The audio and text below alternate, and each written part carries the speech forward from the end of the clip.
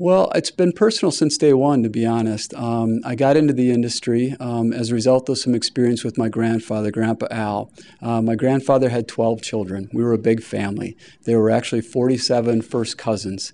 And uh, at some point, he began to suffer the effects of dementia. And it was real difficult to be able to support him in his home. There were a number of episodes that were very difficult for the family. And um, even with a family of that size, it was difficult to be able to provide services or to provide care around the clock.